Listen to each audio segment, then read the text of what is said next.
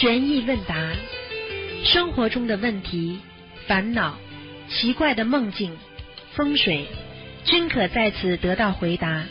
请收听卢军红台长的悬疑问答节目。好，听众朋友们，欢迎大家回到我们澳洲东方华语电台。今天是二零一六年七月二十九号，星期五，农历是六月二十六。好，那么下星期三呢，就是七月初一了，希望大家多多念经吃素。好，下面就开始解答听众朋友问题。喂，你好。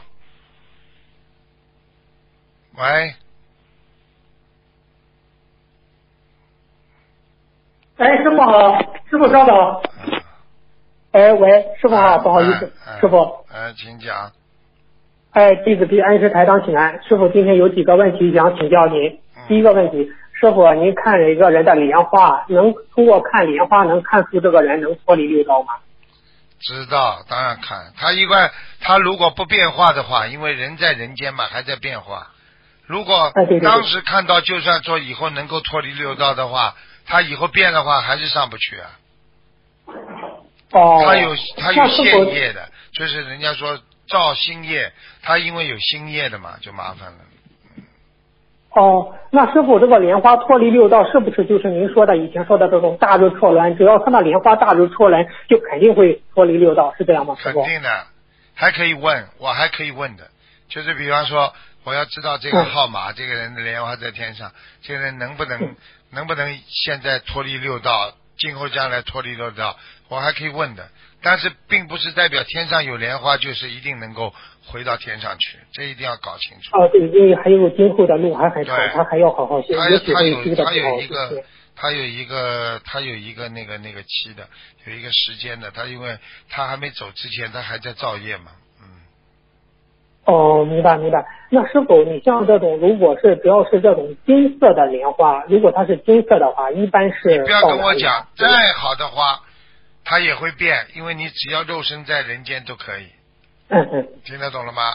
哦你比方说，就是师哦傅现在修的这么好，师傅肯定会去的。如果我真的不好的话，照样回不去，就这么简单，现实的不得了。哦，明白了。哦，那师傅，如果梦中就是您不是在万达中开始，如果梦中还在做义工，莲花就没有掉下来，那么请问师傅，如果在梦中渡人、梦中放生，或者是梦中向上飞等殊胜的事情，是不是代表莲花还在天上没有掉下来呢？基本上都是做到好梦都是的。哦，只要做到好梦，就就就就可以是吧？是吧？嗯嗯。嗯，好的好的，好，谢谢师傅的慈悲开示。师傅，下一个问题，就是有有的同学不是开车特别容易打盹吗？打瞌睡，是这是什么原因？是气不足引起的吗？哦，师傅。太累，哦黑，黑夜开黑夜白。夜颠倒的人，白天想睡觉，晚上精神好，嗯就是这样。哦，明白了，明白了，谢谢师傅的慈悲开示。师傅啊，这个有一个问题，就是现在很多同修从改善运势的角度，助有缘众生进，就是就进进我们学佛群啊，一起学习啊，就是呃成功率挺高的。请问师傅，针对这类众生进群进群后，我们除了让他们多看看图腾视频，还有哪些方法让他们帮助他们尽快的开始修心念经呢？师傅？最好的方法嘛，多听台长的法法会啦、DVD 啦，嗯就是这种啊。哦，嗯，师傅您是不是有些累啊？师傅？哎，有一点点没关系。哦哦，嗯，嗯，好，那师傅，我我我问下一个问题：啊，意念是否意念是否是一种能量？干净的念头往上走，肮脏的念头往下走呢？师傅？是这样的，意念就是能量呀，愿力嘛就是能量，没有愿力的人哪来的能量啊？举个简单例子，我一为了孩子一定要把孩子把精英中学考上，所以爸爸妈妈为了孩子就可以起早贪黑，就是这么样。嗯嗯。啊，那是否，这个意念，嗯，意念和愿力，其实说意念和愿力之间的有什么区别吗？那个意念？意念嘛，就是愿力有了嘛，意念才会有，有了意念会有愿力，有了愿力会有意念啊。比方说，你今天已经有愿力了，你一年当中就会产生，我要早点起来啦，我要嗯嗯我要付出更多啦，就是这个意念就出来了呀。哦，明白了，明白了。那谢谢师傅的慈悲开示。师傅，我们平时如何来放大心量，加强自己的慈悲心？可以放大心量。此外，还有从哪些方面来放大我们的心量呢？师傅？放大心量，要学会嗯对对对忍辱，要学会自我调节心态，这都是很重要的。嗯，哦，你嗯啊，谢谢师傅的慈悲开示。师傅啊，就是说是下一个问题，就是同样就是有同修，他不是在就是同样的同在同样的单位拿同样的工资，但有的人就是在单位他干的很辛苦，拿同样的工资；有的人呢在单位干的一点儿也不辛苦，很轻松。嗯，他这是什么呃嗯什么因缘呢？师傅？这个姻缘说来话长，上辈子帮过他的，他这辈子虽然干的少，他就能拿他的钱；上辈子欠他的，这辈子就得还，干了再长时间还是这点钱，就这么简单了。哦，因缘明白了果明白了报，丝嗯丝毫不爽，明白吗？哦，明白明白，嗯，谢谢师傅的慈悲开示。师傅，下一个问题就是说，就是说是在外面惹，就是在外面惹了灵性，灵性上身了，这种情况，护法神和地府的官，嗯嗯，地府的官，他们会他们会管吗？一师傅，要看的，有的管，有的不管的。如果要管的话，就是他自己求就会管。哦还有一种是，哦还有就是天官得到命令，或者得到那种那种命令，还有地府的那个差啊，这个官差，他得到命令，他也会管；嗯没有得到命令，他不管的。哦，明明明白了明白了，嗯，谢谢师傅的慈悲开示。嗯，是否就是说不造新业，旧业才能消除。那么是否业障重的人更容易造新业，就此恶性循环呢？师傅？再讲一遍，对不起，嗯，就是说是不造我们不造新业，旧业才能才容易消除啊。那么是否业障重的人更容易造新业，就此恶性循环呢？师傅？对了，完全正确。肚子里都是恶的，你根本没有办法消掉新业，消掉旧业，而且还造新业，嗯，明白了吗？啊，恶性哦，循明白明白。恶性，循环。您说恶性循环啊？哦，那如何不掉？有什么办法让他不再恶性循环？他本身就业障很重啊，师傅。怎么样来锻炼嘛？就是自己靠自己修呀。自己不修的话，你一定造新业的，没办法，你为名为利呀。哦，明白明白，师傅您稍微您稍微休息一下，我做一个现实中同修的分享哈，就是他这次求南京是这样的，就是我的一个同修，他不是干合伙合伙的买卖嘛，他不想干了，他不想干了嘛，但是他呢以前入的那种入的股要分，结果呢他呢就跟那个合伙人就说要把这个钱分，但是那个合伙人就是有些刁难他，就是不想多给他。那这个重修呢，就是呃，就我说你们要求南京菩萨，南京菩萨就是也是管我们人间这种协调、人际关系的协调啊。他当那个合伙人不给，不想多给他钱，他就非常生气。当天晚上呢，他就求了南京菩萨，他就和南京菩萨说：“南京菩萨，我就是为了好好的弘法度众，我就想，我也不去贪人家的钱，我就想拿回应该我所得的嗯那份钱。”结果呢，到了第二天，到了第二天，那个合伙人突然一百八十度大转弯，就对他客客气气，就说：“我给你，我给你多少钱，多少钱，把那个把应该得的就给他了。”结果呢，这个同修心里想的那个那个钱数和那个合伙人给他的钱数是一样的。哎，真的是南京菩萨在这协调人际关系方面，就特别灵验。嗯，我就分享一下，大家就是在。就是说是遇到恶缘啦，或者是人际关系方面，多求求南京菩萨，南京菩萨会慈悲我们的。师傅，我分享开。嗯，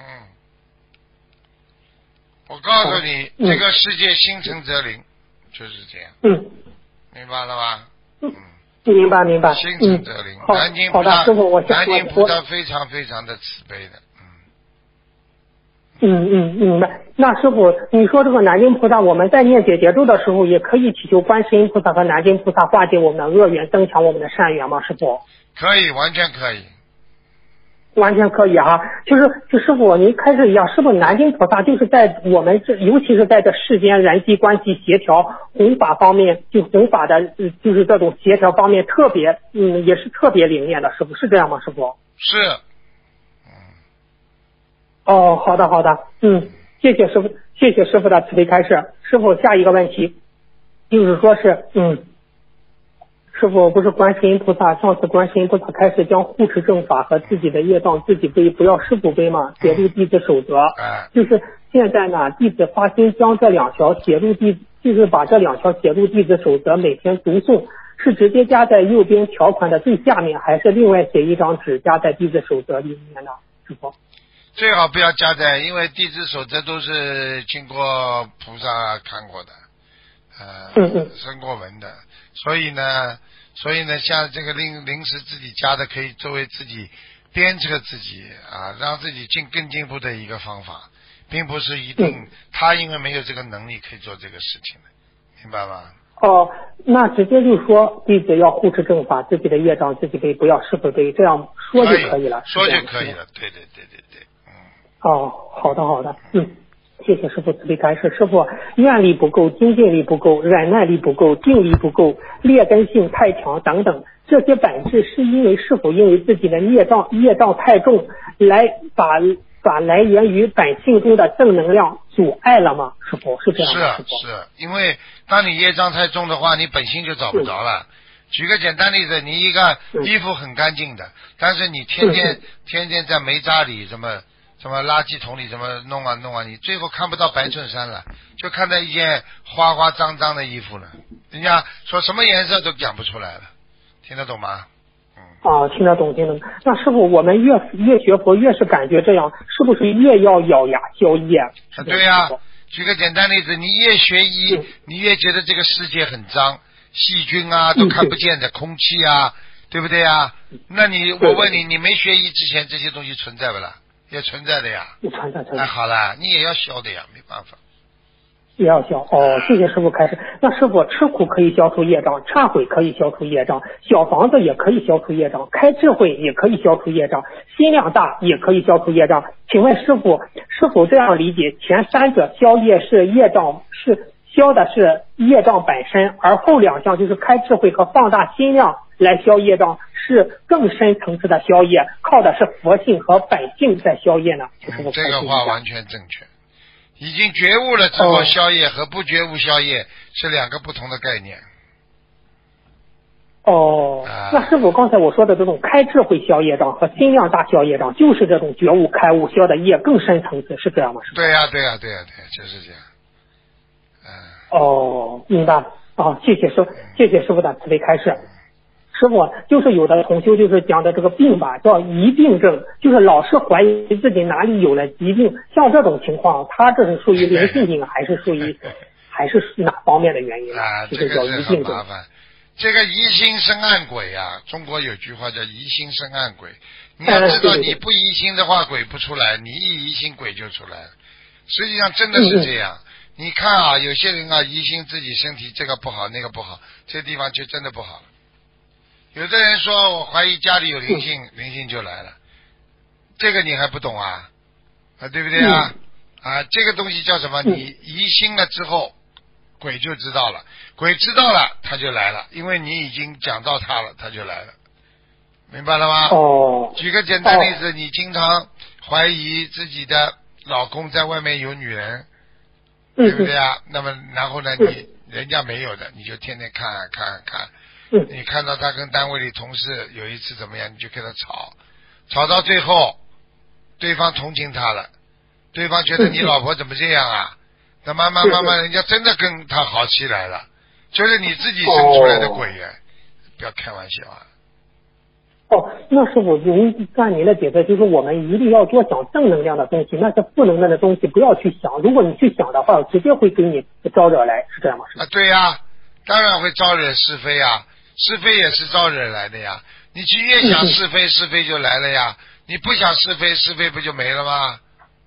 嗯。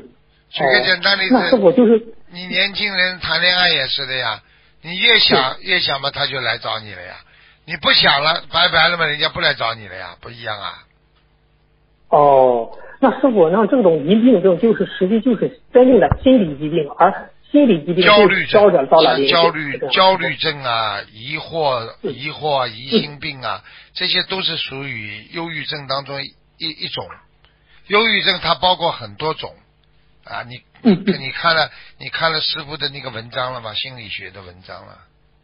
哦哦，我看了他们在在在发了。啊啊！你看看，师傅就是从，嗯因为有些人我要想我要想说说服他的话，你说宗教他不相信，你从心理学科学方面来讲，他就相信，所以我就从科科学角度给他分析。就是这样的，一个人的疑心病实际上就是由于心中的焦虑不安、怀疑、冷漠，再加上自己心理的变态啊，对人的怀疑、嫉妒，各种肮脏的东西交织在一起所产生的一种啊，自己心中对人家的怀疑症。所以这种呢，这种其实就是一种对自己不信任，怀疑人家就是不信任自己啊，你明白了吗？哦，师傅是不是刚才您说的还是我们内心的人的贪嗔痴慢疑啊、无啊？对呀、菩萨们早就讲了，就是贪心啊嗯，这一个人就是嗔心太重，恨心太重，痴慢疑嘛就是怀疑人家呀。你去看哪一个人不怀疑人家？现在的人怀疑起来更厉害。你举个简单例子，我叫 你要去试试看，这个人怀疑不怀疑？你去看好了，你一个人跟你讲的很开心的，你突然之间跟边上那个人假装摇摇耳朵，你看他接下来马上对你态度不好了。嗯，是是。啊，他就觉得你在讲他了。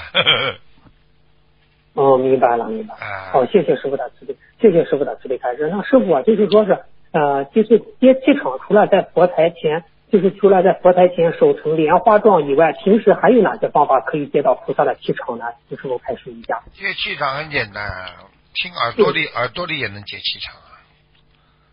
你耳朵里，哦耳朵里不是多听师傅的录音，不就接气场了吗？对不对？眼睛嘛也能接气场，眼睛接气场嘛就是看呀，看佛书啦看，看师傅的白话佛法都能接气场。眼睛看到太阳哦也也接气场，对不对啊？嗯啊，，对对对。嘴巴能不能接气场啊？跟菩萨讲话接气场了呀，啊。哦，说跟菩萨说心里的话，也是对啊。你跪在菩萨那里讲讲讲话，菩萨不是给你气场了？你现在打进电话，菩师傅不是给你气场了？就这么样。嗯，是的，是的，是的。嗯啊对对，那师傅，那师傅，如果多跟菩萨说说自己的愿力、自己的大愿，这岂不是更接菩萨的气场呢？啊，对呀、师师傅就经常这样的呀。我今天做了一件事情，如果嗯嗯，如果我今天跟观世音菩萨说，观世音菩萨，我今天这件事情你都看见了，我不一定人家看见，对不对啊？哦我只要观世音菩萨知道就好了，我就这么经常讲。我说我只要观世音菩萨知道就好了，我不要人看见，哦我又不做给人看对，啊，对不对？我修行学菩萨，我又不是做给人看的，我又不是表演，啊，对不对呀、嗯嗯，那人家要怀疑怀疑，人家要嫉妒嫉妒，人家要怎么样？这是你管不了的事情啊！你不能活在人家的眼睛里，活在人家嘴巴里啊！你这样的话，你活得多累啊！嗯，是的，是的。啊那那师傅，您平常就是经常跟观世音菩萨讲，是这样？对呀。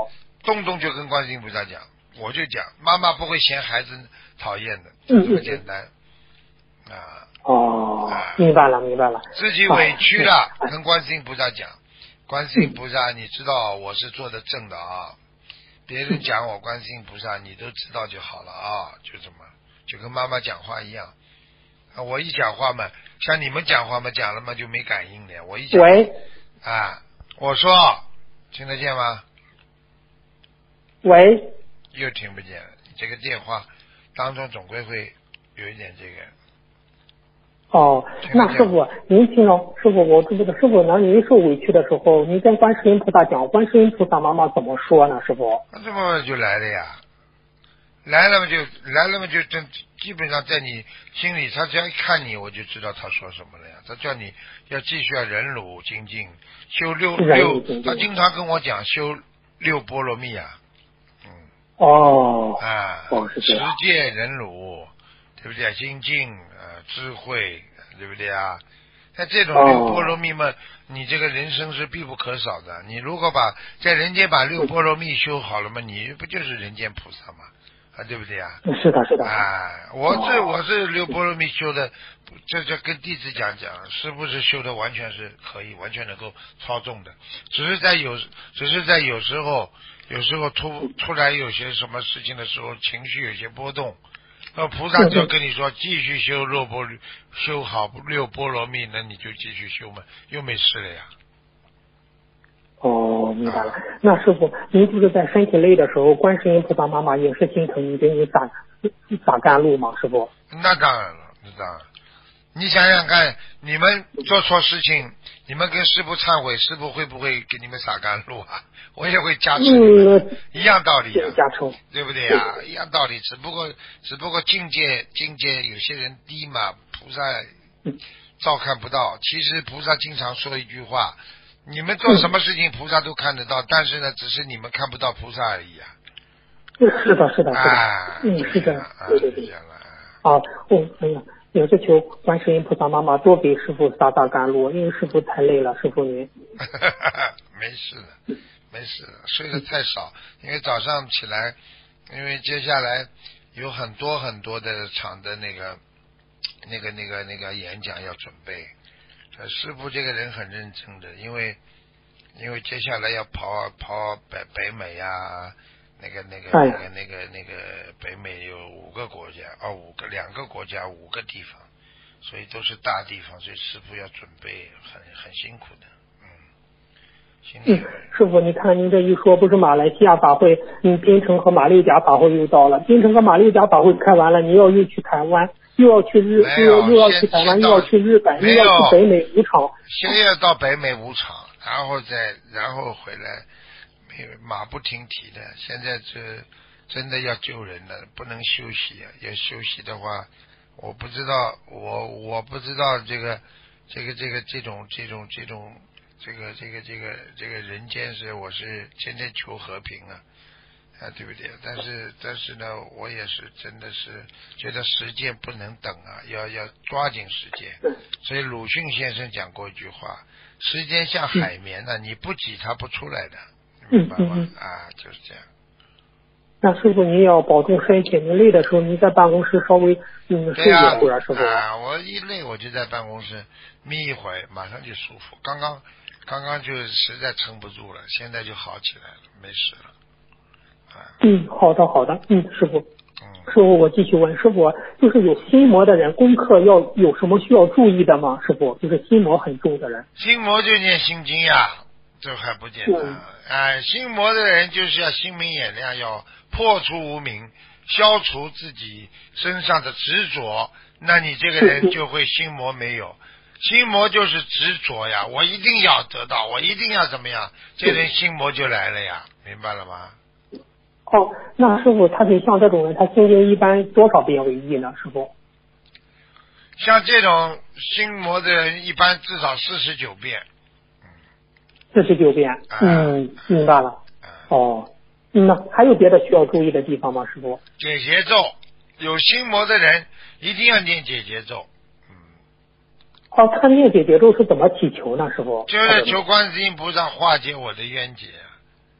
冤结啊多少遍呢因为心魔都是来自于冤结呀、这还不懂？冤结。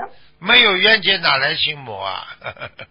是的，是的。啊哦，那解结咒多少遍呢？师傅？四十九。啊四十九。好，谢谢师傅开示。师傅，就是说，这种孩子学习不好，思想不集中，一般是前世到了什么因造成的呢？师傅？思想不集中，像这种魂魄不齐，啊，是其中一个。啊，对对。啊，主要思想不集中的孩子都是魂魄不齐。魂魂魄不齐啊魂魄不齐的哦孩子就是散灵太多，吃的太多活的啦，小时候了，这个就会魂魄不齐。啊，魂魄不齐啊哦，一般主要是这种原因。你去看好是魂魄不齐了，胎里素胎里素的，在妈妈肚子里就吃素的孩子，思想不会不集中的。哎哦，是是是。啊对。啊，对对对。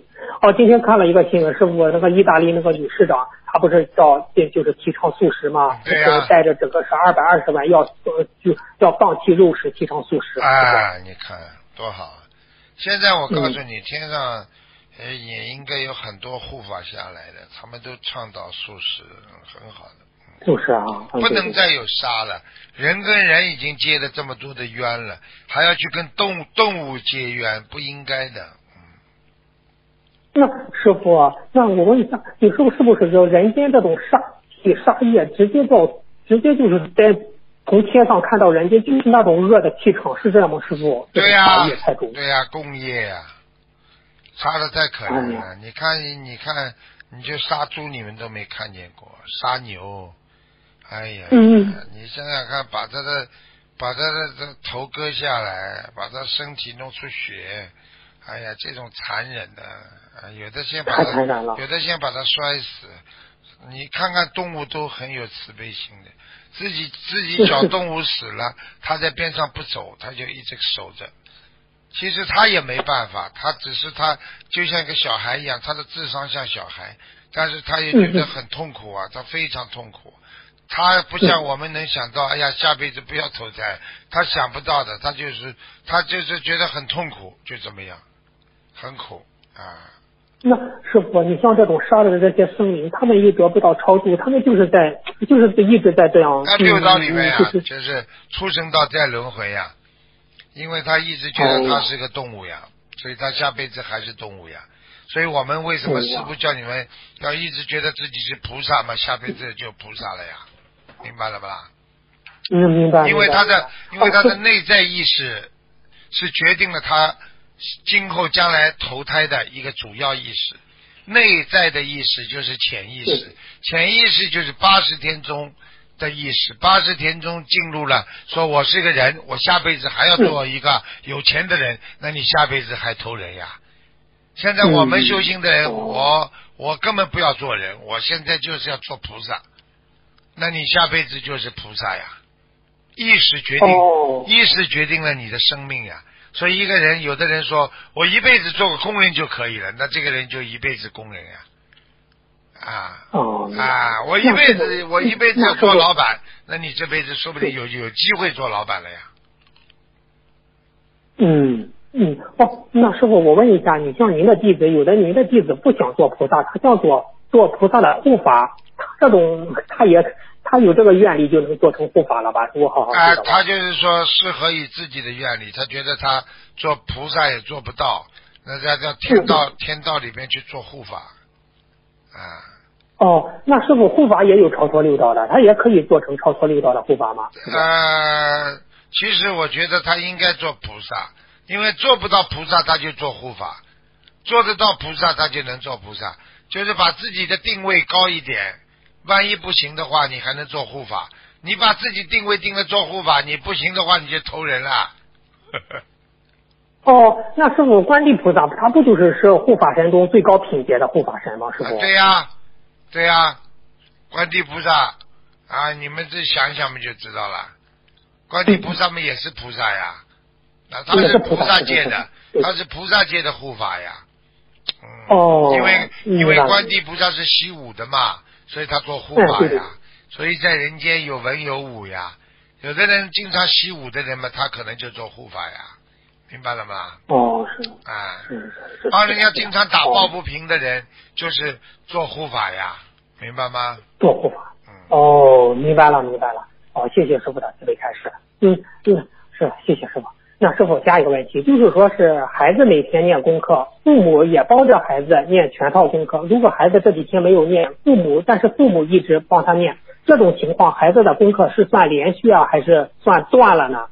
啊，你这个问题很好，实际上就是半断，断了一半，哦，他自己没有接收，你外面给他再怎么，他接受只有一点点，啊，哦，听得懂吗？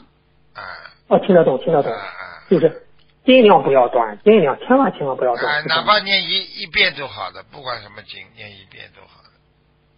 哦，明白。师傅，我再问一个问题，比如我给一个人念经，他呢，他正好这个时候他去了厕所，去了洗手间，你像师傅，他因为洗手间的气场不好，他去了那里，我给他念经的效果也是打折扣吗？师傅不打不打，一点不打，嗯。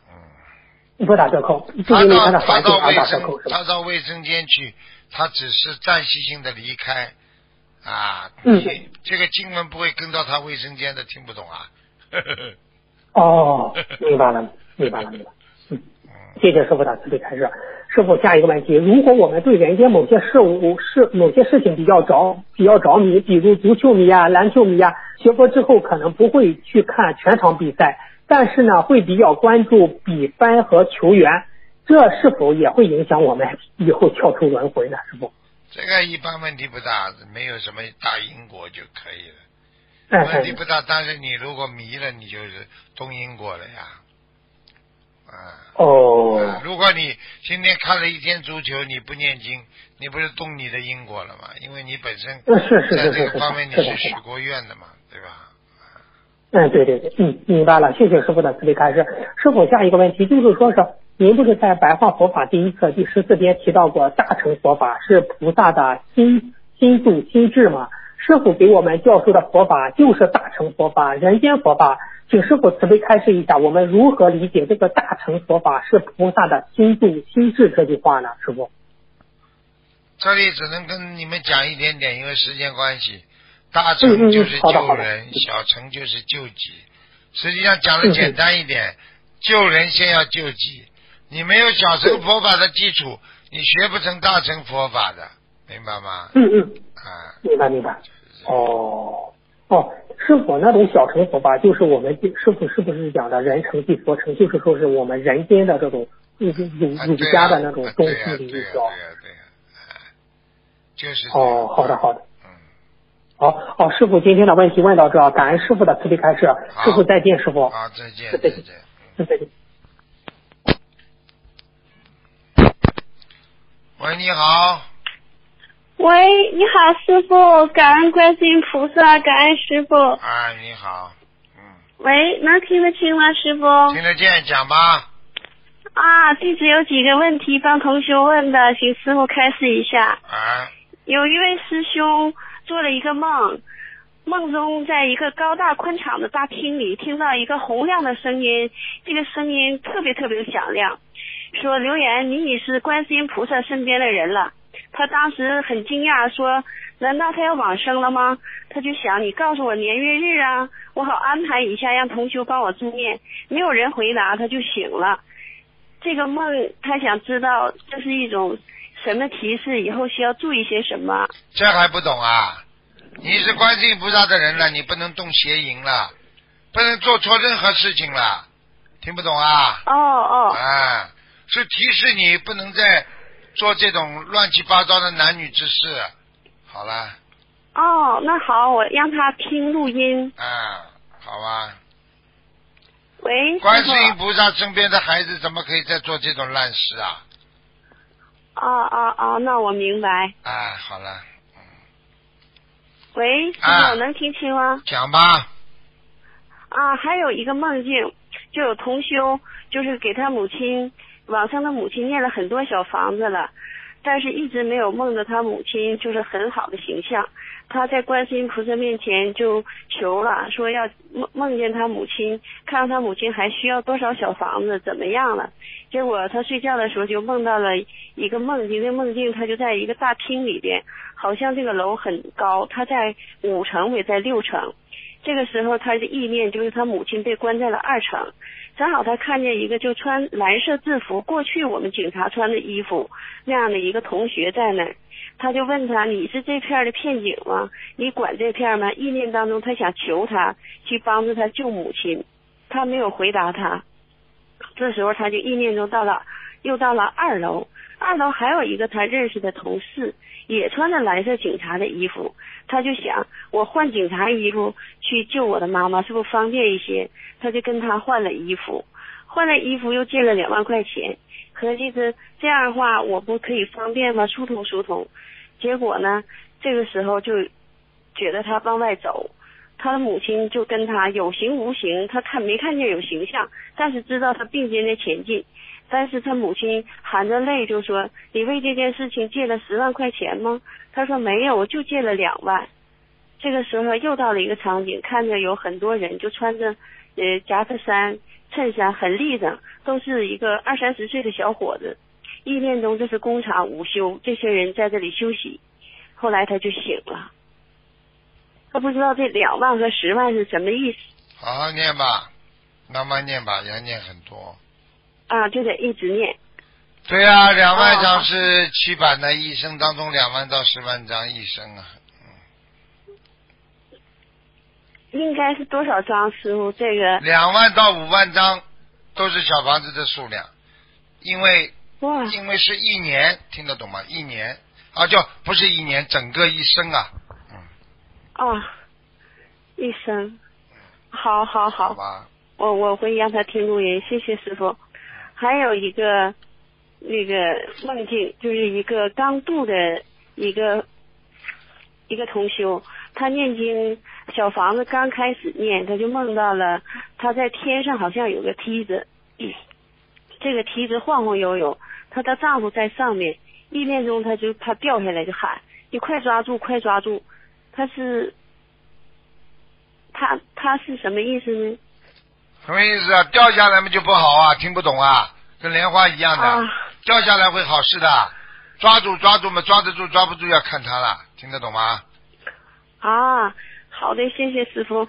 还有一个梦境，一个同修梦到，呃，他在家里头往外望的时候，就觉得在阳台的边上，在外围站了一个小孩，很危险，怕掉下去。这个小孩三四岁，他要扑一个蜻蜓，他就当时吓坏了，就觉得他要掉下去，结果这个孩子瞬间就扑蜻蜓就掉下去了。哎呦，做梦啊，当他往啊，做梦啊，对呀、当他往下看的时候，这小孩还站起来了，下边人就喊有血，但是他没有看见血，有两个人拉着这个小孩要上医院，这个画面就过去不啊，行这很简单，打开的孩子还没有超度掉，哦哦哦，那那就继续超度，我会对让他听录音。喂，师傅。对，听得懂吗？哎，我还我有自己一个小问题，我再问一下，就是我总是在半梦半醒之间，看见我们家的房顶和墙壁有那种黑的丝线似的，哎呦这，是什么？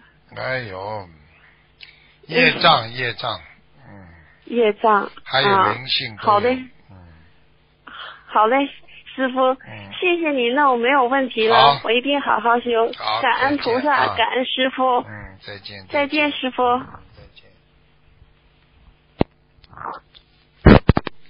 喂，你好，喂，你好，师傅。哎，你好，啊、好久没跟师傅通话了。啊，啊，今天想请问师傅一个问题，就是同修说他，嗯、同修说他那个从别人那里拿回来的那个菩萨像，就是别人不供了的，那个人就是说修别的法门了。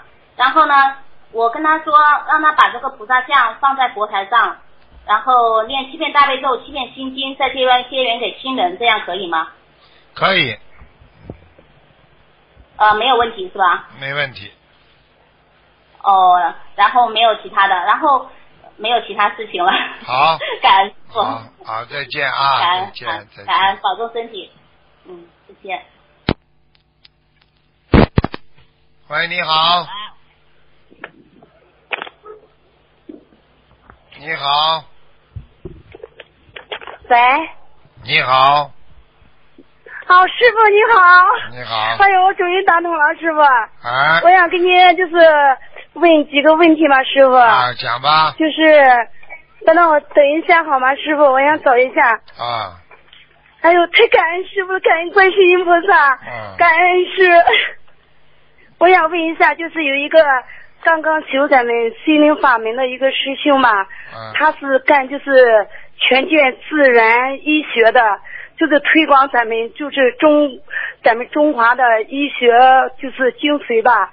他说是以就是传技术为主，基本上就几年之来，他一直都是没有收过就是说费用的，就是只是以是推广为就是目的，传技术为目的。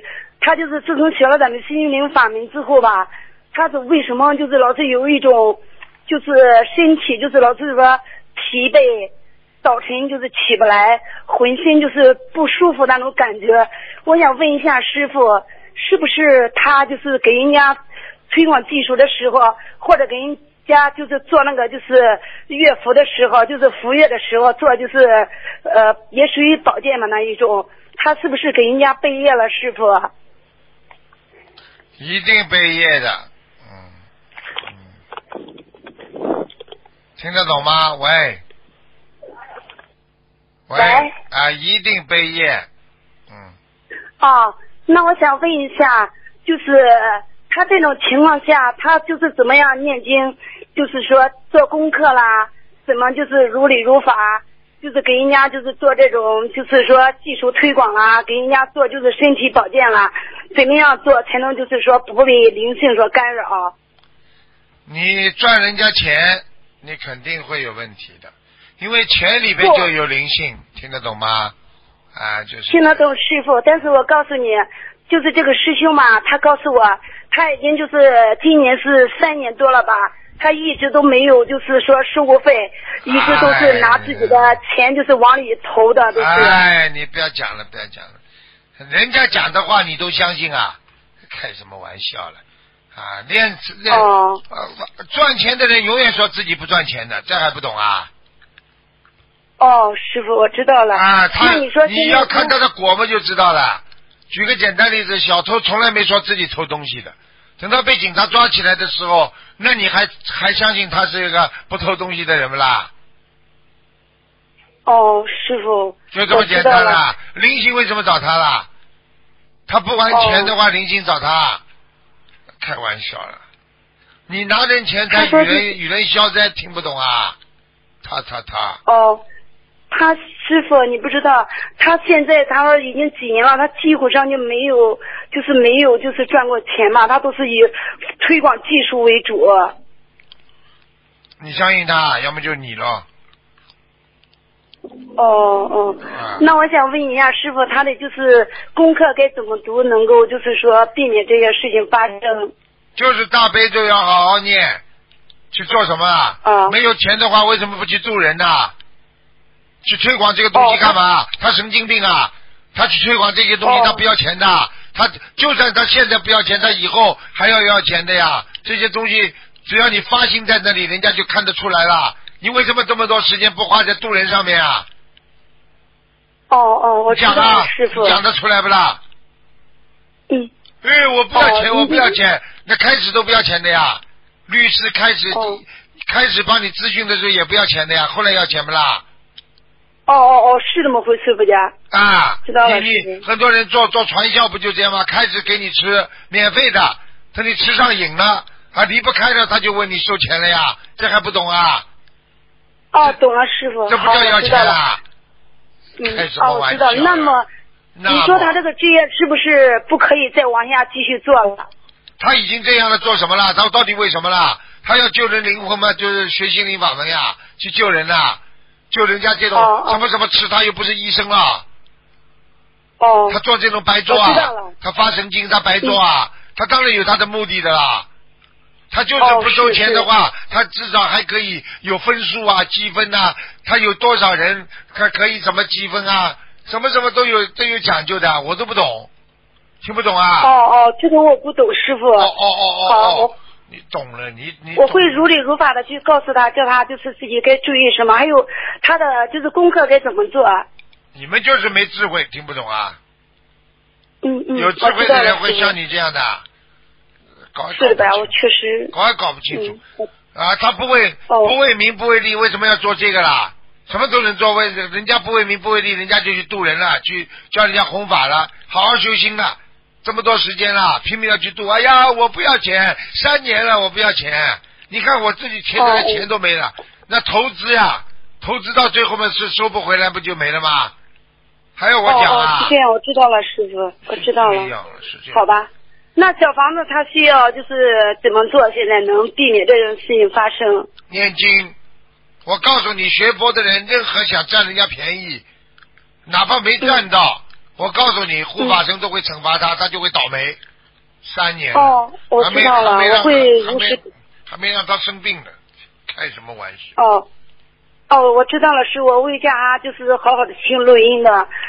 嗯，好吧，师傅，我再给你反馈一个，就是嗯很发喜的事情嘛。嗯，请师傅和就是一会儿给开示一下吧。就是在六月十九，嗯，不是观世音菩萨的成道日那天嘛，我也就是上山去，我去想拜观世音菩萨那天，我见到了我我们就是修心灵法门的一个师兄嘛。哎呦，这个师兄真的很感动人，他就是从山底下一个阶梯一个阶梯，一直磕到山顶，就是等到就是平就是平坡的时候，他就是一小步一个头磕到顶，等他磕到就是二百多吨的时候，也正好我碰到他，我就看他有点就是好疲疲惫的那种一样子，我就问了他一句话，我说你喝水吗？他就回答回答我一句，摇摇头没有理我。到时我问他，我哎呦，就你这样磕头，什么时候能磕到就是山顶啊？当时他回答了我一句话，真的让我很震撼。他告诉我说，他说观世音菩萨告诉他，阶梯有说，苦海无涯。他当时当时就这样说的。哎呦，我真的就这句话，当时我没有悟出来。等回到家的时候，哎呦，这个意义真的很深远，我觉得被他感动了。还有就是我问他的时候，你这样磕头的时候腿疼不疼？你知道师傅他怎样告诉我的吗？他告诉我，观世音菩萨告诉他说，只有吃了苦中苦，方能懂甜中甜。他说，如果人不去吃苦，就没有慈悲心，就没有大爱，就不能做到无私，就不能去为别人去着想。师傅，我想问你一下，这是观世音菩萨说的话吗？我觉得你好像根本没修过心灵法门，这些话师傅已经讲了好几年了，还要菩萨讲我啊？是我是才修有没有多长时间的，我是修心灵法门，我已经打进电话，今天是第三次了。你修了很长很很短的时间，你为什么不好好看看台长的白话佛法书啊？听听台长的开我现示啊在？DVD 看不看、啊？我现在已经不看，正在看。啊，你赶快要看看录像，师傅已经讲，嗯师傅已经讲了七八年了呀，你还刚刚知道啊？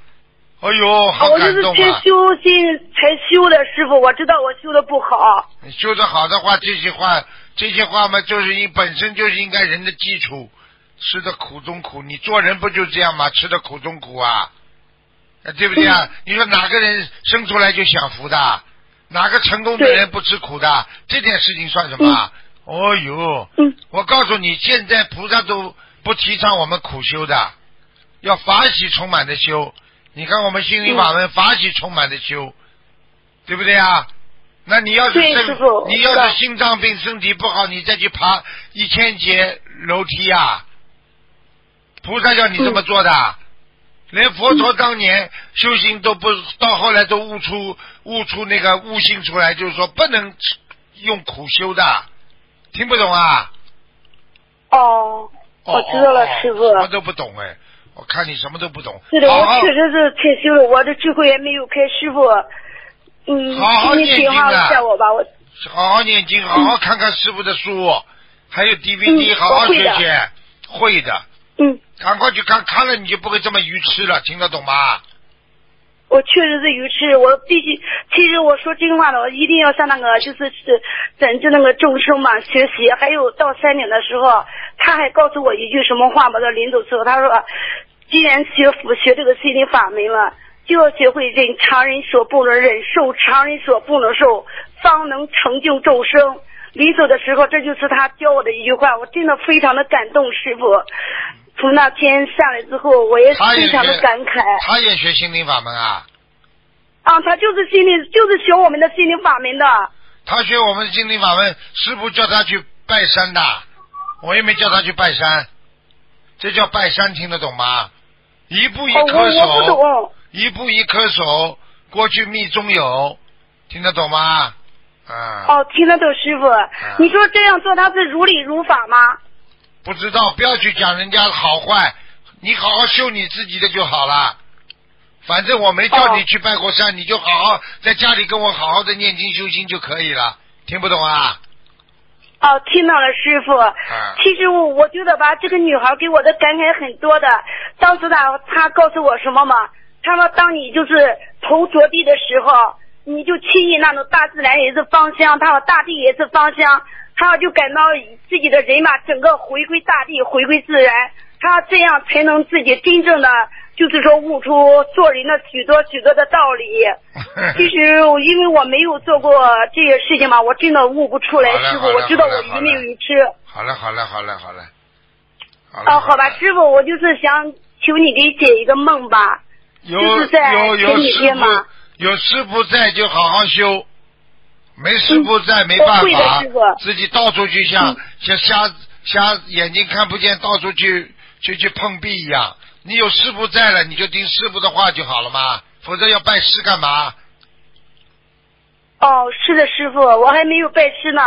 但是说实在的，你在你的在我的心里，我已经把师傅当做我的恩师了。我知道我修的不好，不争气，我向你忏悔，师傅，向观世音菩萨忏悔我需。要的，我们心灵法门需要的不是整天嘴巴里讲的人，我们需要的是嗯实实在在做的人。你现在到今天，我不要听到你的什么左一句右一句，要好好的告诉我你念的多少经文，多少张小房子，度了多少人，啊，放了多少生，师傅要听这些，听得懂了吗？听懂了，师傅，好了，我会改的。好吧，师傅，我就是再想问一个梦境嘛，就是在前段时间我做梦，就是在一个河边吧，一个就是离河边坡很近很近的水泥坡，马上就接到水了，水很深很深那种感觉。我好像是坐在椅子吧，是就是坐在河边，马上就要滑下河里去了。我紧接着是在喊谁在救我，谁救救我！路边过了很多人，终于有一个就是女士吧，我觉得她伸手拉向了我，把我从这个河边缘拉上了河岸。请问一下恩师，请你开示一下，这是什么梦境？这个梦境啊你差点点修偏，现在有人把你拉上来了，听不懂啊？哦，就是我修的，现在就是修偏了。过去，听不懂啊？哦，我知道了，过去我知道，我过去是修别的法门的。对了，我会不知道的，你跟我一讲话嘛，嗯。我就知道了，明白了吗？哦，好好的，明白了师傅。嗯好好的开悟，千法万法，千门万门，都是一条通往这个四圣道和超脱人间烦恼的一个道，所以这叫佛道。所以不要去有啊、门派之间的这种芥蒂，好好的学佛，找到最适合你的法门，就是你的最好的法门。听得懂了不啦？听得懂了，师傅。好了好了我知道了。再见再见。嗯，我还想问一个梦境，就上次在开香港法会的时候，我去了，就是在当天夜了，我做了一个梦，做了一个梦，就是怎么，就是梦中当中有一个嗯没有燃气的那种小棺材吧，棺材里面搁了就是一大块白布，当时我就做梦说是给我的家人某某某准备的。嗯，呃，当时就是我也就没想那么多，等就是我就这么我的上边的整个牙就是噎住，呃，整个的脱落，还有就是血迹，当时还能觉得疼痛，等到后来我就觉得牙齿不痛了，我就是也有一点没有掉，我张手就是把它拽了下来的时候，做梦就是牙上面还真的皮还有筋，这是什么意思，师傅？知道了，你家里上人要有个人走了，啊，长辈要有一个人走了，嗯，那该怎么办，师傅？怎么办啊？人不走的，通知你呀、通知你，你要帮他延寿嘛，放生。好啦，哦哦，明白了吗？好。好了好了。哦，明白了，师傅。好了，感恩师傅，感恩师傅，师傅。再见。嗯，感恩师傅。学佛不能学的越学越苦，学的越苦，那就走偏，听得懂吗？喂，你好，师傅你好，弟子跟师傅请安。啊，师傅你辛苦了。讲吧，嗯，师傅等会儿我把收音机关一下哦。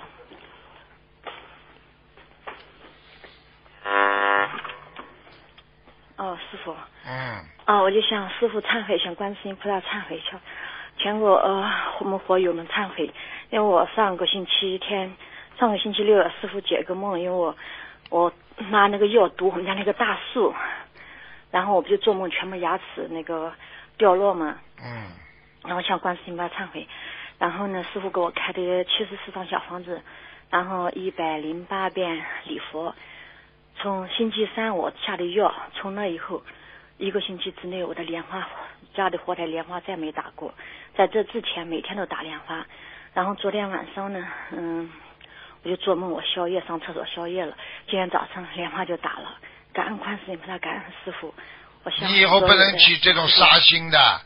对。你以为毒死树枝、毒死树根，你这种都是大杀业，听不懂啊？对。然后我们家里树的很大，很多年了，五十几年了。我就向菩萨忏悔，向师傅忏悔，我再也不做这种脑子坏掉了你。嗯，再不做，再不做了。所以我就像 所有的。和杀人一样，杀树根也是杀杀人，差不多的业障。好了。对，然后我就是无名啊，师傅啊，我告诉你，真的愚痴，我是愚痴，弟子真的愚痴。我在杀之前呢，我就去观世音菩萨，去师傅在菩萨能给我开个示，这个树我能不能杀？然后呢，师傅就在梦中就说，然后告我莲花有多大，然后临走就告诉我破无名。当时破无名不叫你解这个梦嘛？后来我就自己就是愚痴嘛，没有悟出来这个破无名。现在我就连接到这个事情，师傅已经点化我了，叫我破无名，我就不理解，知道吧？无名嘛，就是不懂啊。对呀，就是不懂把这树杀掉，造成这个业。啊，你懂了就不会去杀树了。对对对。而且你还把它毒死，真的哪像学佛人呐、是是是。我们学佛人连个蚊子、苍蝇都不打死的，怎么办啊？是是。我就忏悔，哎呦，我就向观世音菩萨忏悔，向师傅忏悔这件事情。嗯，师傅，能请你帮我，呃，我我解个梦。师傅还帮我挑一个名字。这个的梦呢，你我做梦，你在我们家，你到我们家来，坐到我那台子吃我刚烤的坚果。然后呢，完师傅，我叫冬梅窝呢，你知道吗？你要我知道你叫什么名字。然后呢，你你吃那个坚果，他说你说我，呃，我这个名字已经叫做灵动性了。嗯，然后。呃，我想想师傅啊，好，我想你吃这个坚果，你喜欢吃。然后我刚烤出一一瓶，我想我端给你，我想这个送给你。你看师傅一拿到手，然后看上面有一张纸头，拆下来一看，是我原先的名字，就是最早没有改这个，不是这个名，现在的名字，以前最早的呃我的名字。然后你说我现在这个东梅窝呢，就叫做灵通性了。然后是我就问师傅，这个名字好不好？你就讲你要想改名字，选出选自己选出三个名字，我给你挑一个。现在我就选出三个名字，请师傅我挑一个，行吗？你看梦中跟现实当中师傅一模一模一样的。你讲的话一模一样，我醒了，哎呦，我激动啊！哎，一模一样，你讲的话，你现在的口气都一模一样。我的 法身法身非常的清晰的，很厉害。对的，真的不肯进去。哎呦，神奇的不得了！师傅，我是属猪的，是属猪的，是是就是七二年属猪的。我现在选三个名人，你能帮我看一下行不行？看看看你个混呐！今天不能看的。师傅慈悲，你在梦中就让我选三个名字，我一直没有机会打电话，因为平时在啊就是你把三个名字报出来啊！好的，一个是慧家，就是智慧的慧，家就是嘉年华的嘉，土字头，下面过一个家姓什么啦？啊，姓什么？姓窝呢，因为我是我先生是西人，然后我就姓我老公的名字叫窝呢，就是费加窝呢，就是一个，还有一个叫你要姓自己嘉安家里人的窝呢，你要加自己姓的，自己不姓啊，要自己姓什么？中文姓什么？中文是我是姓我爸的姓，我们中文是姓孙，啊子小生的孙，啊就可以了嘛。你念呀、孙什么啦？第一个字啊，啊，第一个是孙慧佳，第二个是孙家安，第三个是孙佳宁。我姓我是属猪的，第三个嘛好了，嗯曾佳宁对吧？嗯，好了，感恩师傅，非常感恩师傅。好了，好了，好了，曾佳宁啊，啊好的啊，能不能改第二个？还有我儿子是能不能改？不行了，不要贪。嗯，好好好好好，那下次我改吧，好好吧？再见吧再见非常感恩师傅，师傅明天见，谢谢，非常感恩，拜拜。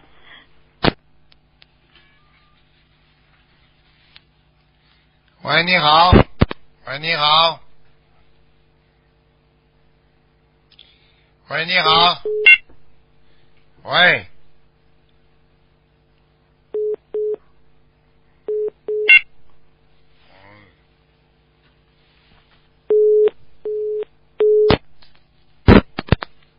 喂，你好。哎，师傅。哎。哦，你呃，师傅，感恩师傅，感恩观世音菩萨。我有几个问题要问你。不好意思啊，呃，我大点声。啊，师傅不不用不用，呃，师傅是这样的，那个就是现在很多共修组都在网上共修白话佛法嘛，那么每次在读这个白话佛法之前都有一个祈求词，我想请师傅开示一下这个祈求词是否如理如法，您听我念一下啊。嗯，啊，等一下，我太紧张了。呃，顶礼伟大的释迦牟尼佛，顶礼伟大的观世音菩萨，顶礼文殊菩萨，顶礼龙天护法菩萨。我某某某今天朗读白话佛法第一册第五篇，呃，以佛法谈生命的意义，恳请南无大慈大悲救苦救难广大灵感观世音菩萨摩诃萨加持我和我们群里的佛子，让我们理解呃白话佛法的内容，让白话佛法的能量加持我们。保佑我们开智慧、消业障，一切吉祥。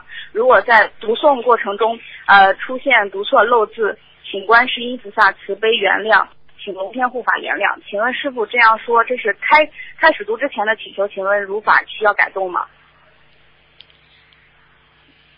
嗯，讲的太多了，菩萨叫的太多了。嗯。哦，师傅能不能开示一个呃如理如法的？之前的那个开头啊，太多了，不要不要讲一大堆呀。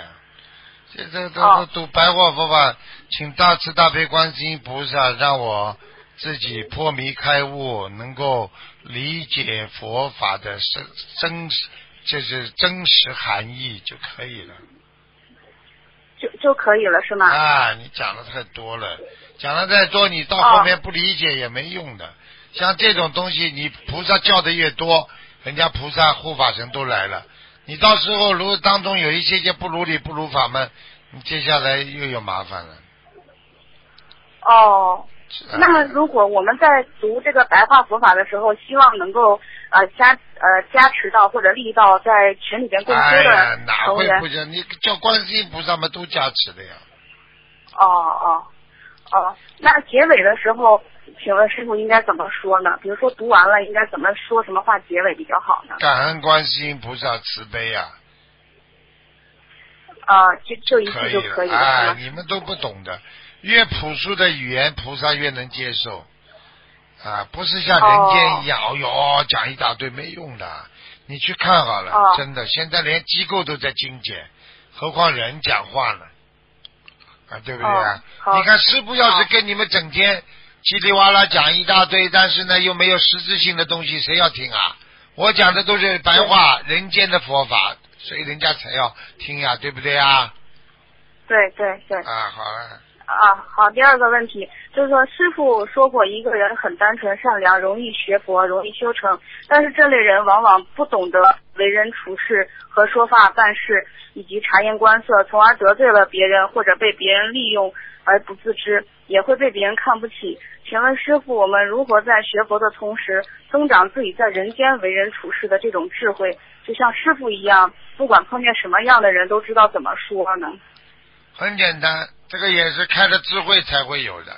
所以先要开智慧，学佛的人首先要多开智慧。怎么开智慧的呢？先少说话，多念经，对不对啊？多看书啊，少说话啊。多理解，多开悟，就是这样的呀，嗯。哦。他又没一个固定的模式的啦，傻姑娘。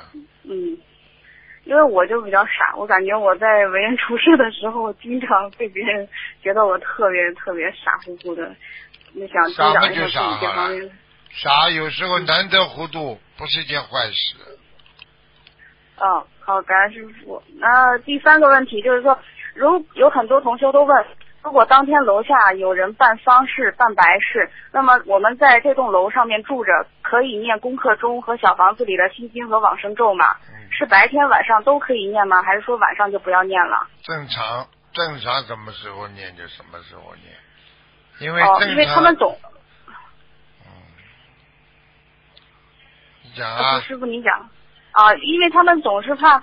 自己在家里念经的时候，就把过世的人那个灵魂给招过来，他们总有这种害怕的感觉。你记住了，你到时候就念经，菩萨知道你，护法人知道你几点钟念经的，护法人就会来看你。所以为什么念经最好有早课晚课，要定时嘛，就这个道理呀、哦，好，呃，感恩师傅，再问一下，如果离婚前、离婚之前，同修和先生许了一万遍的心经和姐姐咒，离婚之后，这个心经和姐姐咒还没有念完，需要完成吗？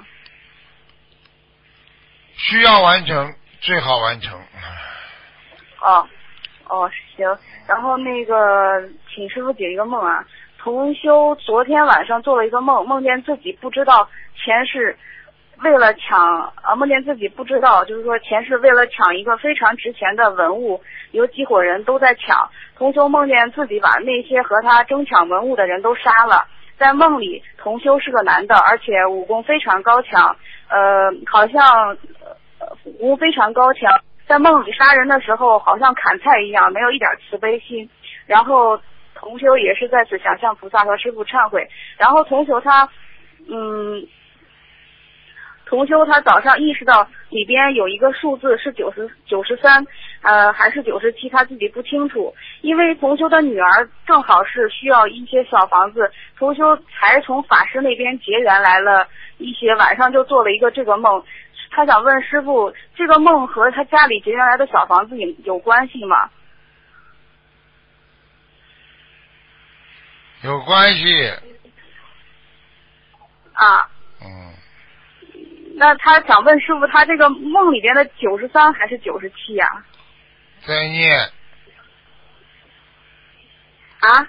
再念九十七章，哦，那他可以用他给他女儿结缘来的这些小房子吗？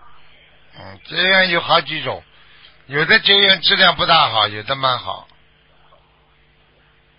哦，呃那个那个，他可以用就是结缘来的这些小房子去代替他那九十七张吗？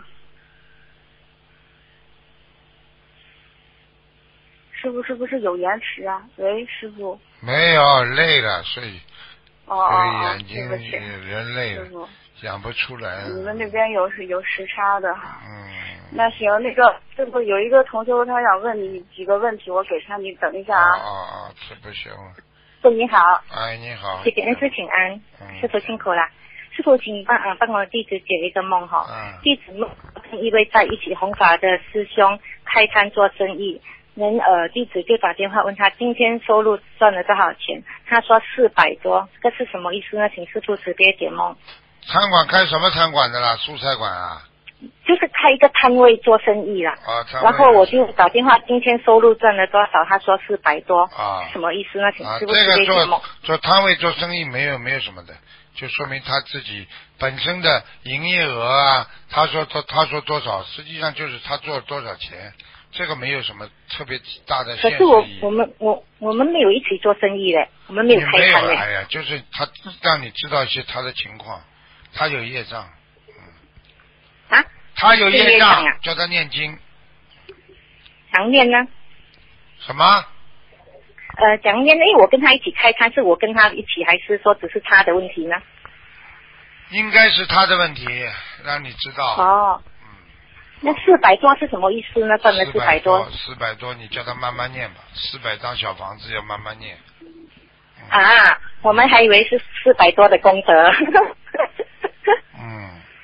我 我这样可以，我我我跟他讲一下该。啊。呃，还有师傅，呃，我想请问一个一个问题，弟子有一一条那个开光，就是给师傅开光的佛珠所啊佛珠颈链啊，那个一百零八粒的，因为师傅有开示过不要戴在颈上或者再穿在手。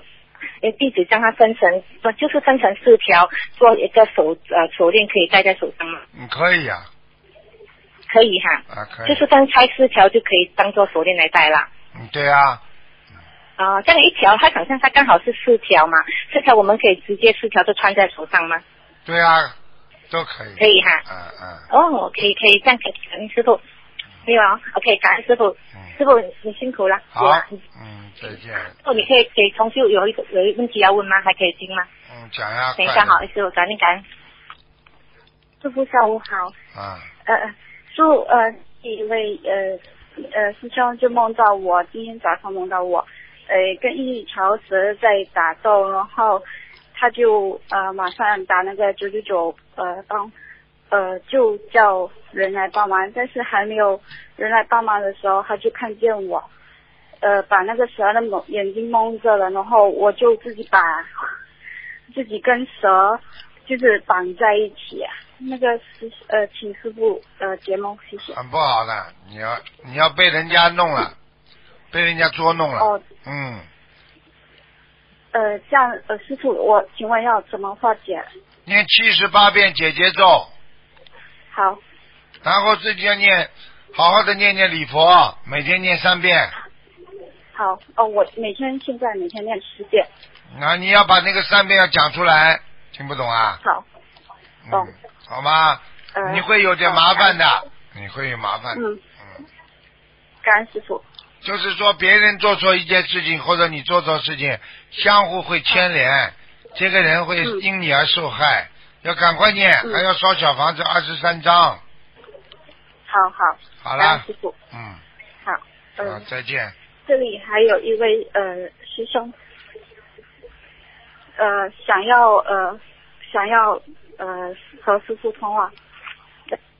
那个还有一位佛友想问您，不知道还有没有时间了？快点呀，问嘛就问了，啊，好，台长你好赶快问，赶快问。嗯，啊，台长，我上次在法会新加坡法会四月二十三号的时候，梦见我的牙齿掉下来，上排和下排。啊，请问师傅，我应该怎么念经念经，上排是念了念了？上排是上人身体不好，下排是下下人身体不好，小辈晚辈。哦，那我应该帮他们，也我念经了，念经了。嗯，那我应该跟他们，好好念嘛就好了，继续念呀、解节奏，我礼佛姐姐咒。啊，没办法的。好的你现在自己都修成这个样，功德不够，你还救人呐、你怎么救啊？多做功德吧，听得懂吗？听得懂，感恩师傅。嗯，好了，再见再见。好的好的感恩师傅嗯，再见了。啊，再见。好的，感恩师傅啊再见再见。好的，感恩师傅，师傅再见。再见。好，听众朋友们，时间关系呢，节目就到这儿结束了。非常感谢听众朋友们收听。那么今天打不进电话，听众明天呃晚上五点钟呃悬疑问答节目综述节目继续回答。好，广告之后回到节目中来，再见。